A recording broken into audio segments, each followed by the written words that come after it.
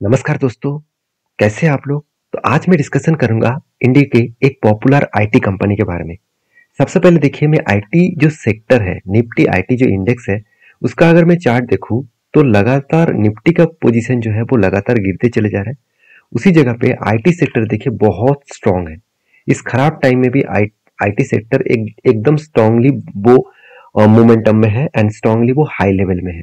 अगर इसी चीज़ को मैं निफ्टी फिफ्टी के इंडेक्स के बारे में बात करूँ तो आप ध्यान से देखना कि एक किस तरीके से बड़ा सा एक फॉल देखने को मिला। तो सोचिए निफ्टी गिर रहा है साथ ही साथ निफ्टी नेक्स्ट फिफ्टी गिर रहा है साथ ही साथ देखा है तो बैंक निफ्टी भी गिर रहा है।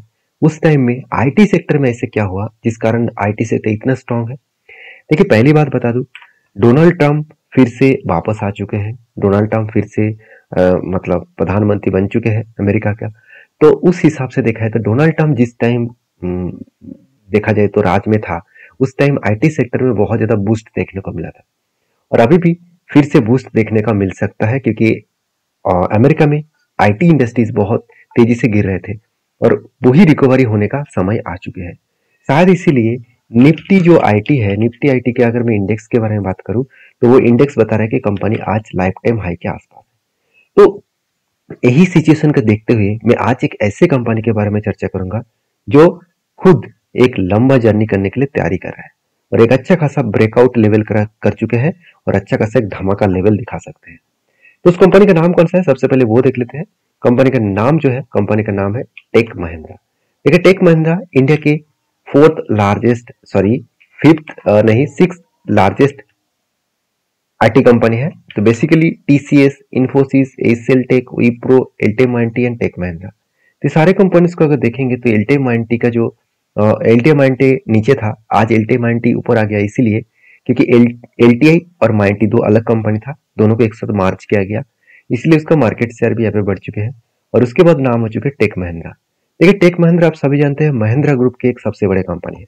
और मुझे इस कंपनी के बहुत कुछ खास पॉइंट देखने को मिला जो मैं आपके साथ शेयर करूँगा। सबसे पहले देखिए इस पूरा सेक्टर में अगर मैं एवरेजली देखूँ तो एवरेजली जो टोटल सेल्स का ग्रोथ है वो 7.63 है। और टेक महिंद्रा का सेल्स का ग्रोथ कितना है? 3.49 चलो फिर भी मान लेता हूँ पॉजिटिव है जहाँ पे विप्रो का कम है जहाँ पे आ, बाकी कंपनी को आसपास ही है। मैं परसिस्टेंट के बारे में बात यहाँ पे नहीं करूँगा।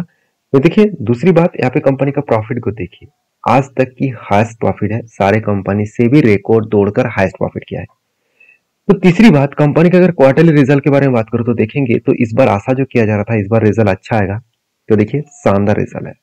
तो शानदार रिज़ल्ट आया कंपनी का शानदार एक्सपेंस भी मेंटेन हुआ, शानदार प्रॉफिट ग्रोथ भी देखिए डबल हो चुके हैं डबल से भी ज़्यादा। तो जब कोई कंपनी इतना शानदार रिज़ल्ट करे, और वहाँ पे जब कोई भी टेक्निकली चार्ट दिखे, या उसके ऊपर मतलब पॉजिटिव व्यू नहीं रखना चाहिए। मेरे हिसाब से द बेस्ट पॉजिटिव व्यू रखना चाहिए। इसलिए मैं ज़्यादा से ज़्यादा क्वांटिटी के साथ इस कंपनी के ऊपर कंटिन्यू कर रहा हूँ। मैं आपको दिखाऊँगा किस सिचुएशन के बेसिस में मैंने टेक्निकल को यूज़ किया और किस पोजीशन में मैंने टेक्निकल को यूज़ किया। तो इसको दिखाने से पहले कंपनी इतना अच्छा परफॉर्मेंस क्यों कर रहा है, उसके बारे में जानना चाहिए। तो चलो, सबसे पहले वो देख लेते हैं। देखिए, अगर मैं कंपनी के कैपेक्स के बारे में बात करूँ कैपेक्स का मतलब है कंपनी कितना खुद के पैसा इन्वेस्टमेंट कर रहा है बिज़नेस के ऊपर।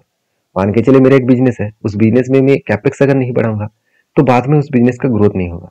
जैसे यहाँ पे देखिए बताया जा रहा है कि कंपनी का जो कैपेक्स है, वो यहाँ पे देखिए बताया जा रहा है approximately six hundred thirty eight crore का आसपास।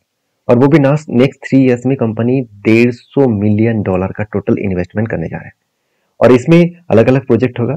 आप देख सकते हैं, जो प्रोजेक्ट है, जो यहाँ पे जो प्रोजेक्ट लिखा गया प्रोजेक्ट परिवर्तन जहाँ पे 400 करोड़ का टोटल इन्वेस्टमेंट किया जाएगा। आप खुद ही देख सकते हैं यहाँ पे tech Mahindra 400 crore project Parivartan contract मतलब यहाँ पे भी कंपनी का कैपेक्स एंड कॉन्ट्रैक्ट भी यहाँ पे देखने को मिला। साथ ही साथ टेक महिंद्रा यहाँ पे देख सकते हैं जो आर्टिफिशियल इंटेलिजेंस है, उसके ऊपर भी बहुत तेज़ी से काम कर रहे हैं, उसके ऊपर भी इन्वेस्टमेंट करने जा रहे हैं।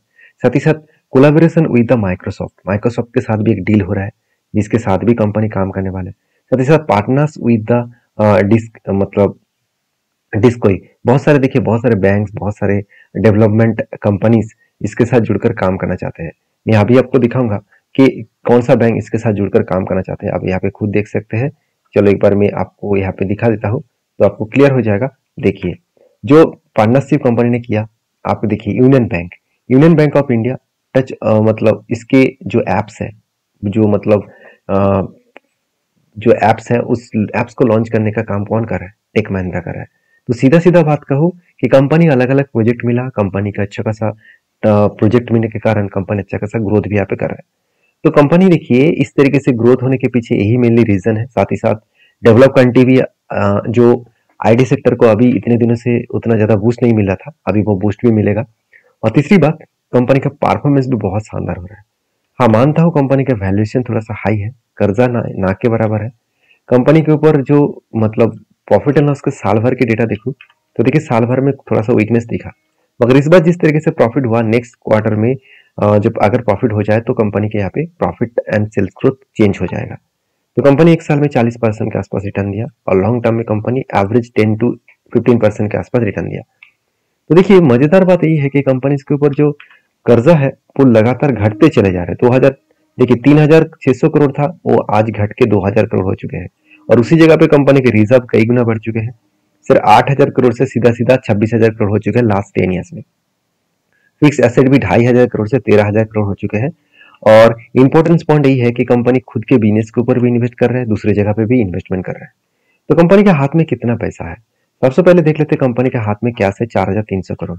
तो जो लोगों के मन में यही होगा कि कर्जा इतना है तो कहाँ से मिटाएगा?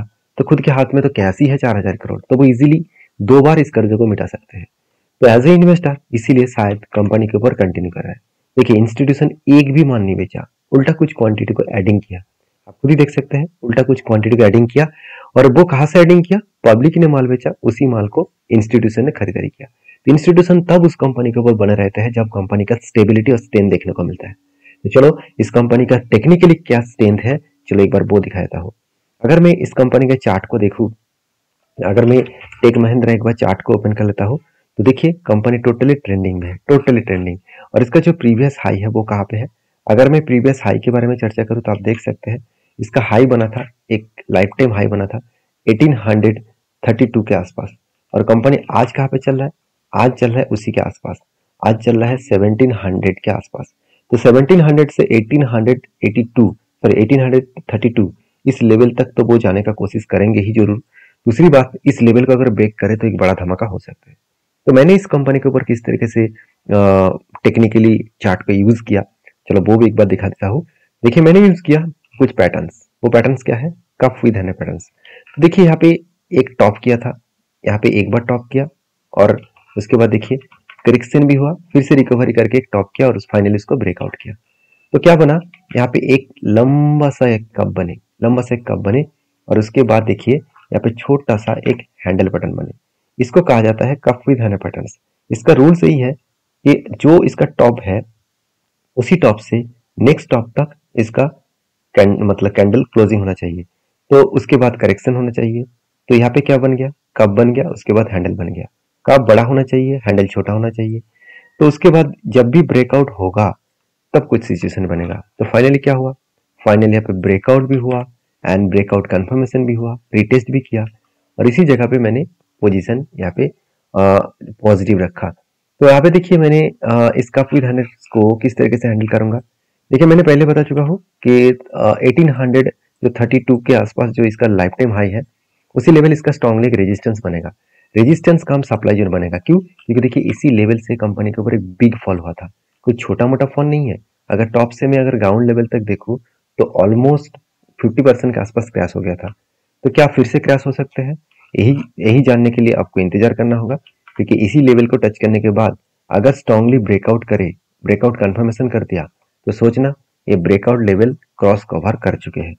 तो मैं कहा तक इस कंपनी को देखूँगा? मैं देखने वाला हूँ टू थाउज़ेंड टू हंड्रेड तक देखिए, मैं कोई आपको ट्रेड लेने के लिए स्ट्रेटेजीज को नहीं सिखाया मैंने आपको यही सिखाया स्ट्रेटेजीज को बैक टेस्टिंग करने के लिए। क्या सही में इस तरीके से स्ट्रेटेजीज में दम है? क्या सही में इस तरीके से स्ट्रेटेजीज में काम बना है?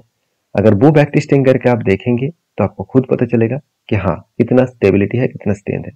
अगर इसी डेटा को मैं प्रीवियस बैक टेस्टिंग करके आपको दिखा दूँ तो आपको सब कुछ क्लियर हो जाएगा। तो आप प्लीज़ इस, जब भी इस तरीके से काम करना चाहेंगे तो एक बार बैक टेस्टिंग करके ज़रूर देखना। जैसे देखिए, मैंने यहाँ पे भी बैक टेस्टिंग करके देखा और यहाँ पे भी एक्चुअली इस जगह पे मैंने काम नहीं किया, मगर बैक टेस्टिंग करके देख चुका हूँ। देखिए, कब बना हैंडल बना, दो बार हैंडल बना। और अगर मैं टोटल लेंथ को यहाँ पे देखूँ टोटल लेंथ यहाँ पे अगर देखूँ तो हंड्रेड परसेंट का रेंज बना। और इसको मैं ऊपर बिठा दिया तो क्या फाइनली उस लेवल तक गया? हाँ टाइम लगा, मगर गया। कितने दिन में गया? तो जब ब्रेकआउट हुआ था, उस ब्रेकआउट लेवल से अगर मैं टारगेट पॉइंट तक देखूँ तो ऑलमोस्ट 1000 डेज़ लगा 49 डेज़ 1000 डेज़ का मतलब है एटलीस्ट तीन साल। तीन साल में 49 डेज़ बना यहाँ पे ज़्यादा टाइम लग चुके हैं, क्यों? क्योंकि कोविड के बीच में कोविड आ गया था, अगर कोविड नहीं आता तो वो इजिली और भी आगे टारगेट अचीव हो जाता। तो कहने का मतलब है कि जब भी आप इस तरीके से पैटर्न्स को यूज़ करेंगे तो एक बार आप बैक टेस्टिंग करके देखना, आपके खुद के ओपिनियन रखना, उसके बाद काम करना। क्योंकि पहले भी इस तरीके से कुछ स्ट्रेटेजीज बने थे, आप सारे स्ट्रेटेजीज को वॉच वॉच आउट कर सकते हैं। तो वीडियो में जानकारी अगर अच्छा मिले तो प्लीज़ लाइक करना। यहाँ पे मैं थोड़ा सा, यहाँ पे भी एक पैटर्न को आपको दिखा देता हूँ। देखिए, हर बार आपको इस तरीके से पैटर्न मिल जाएगा। सिर्फ़ आपको उस टाइम में फंडामेंटल फाइनेंशियल को चेकआउट करना है। जैसे देखिए, यहाँ पे क्या बना? एक कप बने, उसके बाद हैंडल बने। तो अगर यही लोअर साइड से मैं अगर अपर लेवल तक मार्किंग करूँ तो आपको देखकर लग रहा होगा कि छोटा मोटा एंटी मिलेगा। बिल्कुल नहीं। फिफ्टी सिक्स परसेंट एंटी यहाँ पे देखिए, कितना जल्द से जल्द पोजिशन को क्लोजिंग हुआ। तो ओवरऑल सिर्फ़ के सिर्फ़ एक सौ सत्ताईस दिन फिफ्टी एट परसेंट का रिटर्न मिला।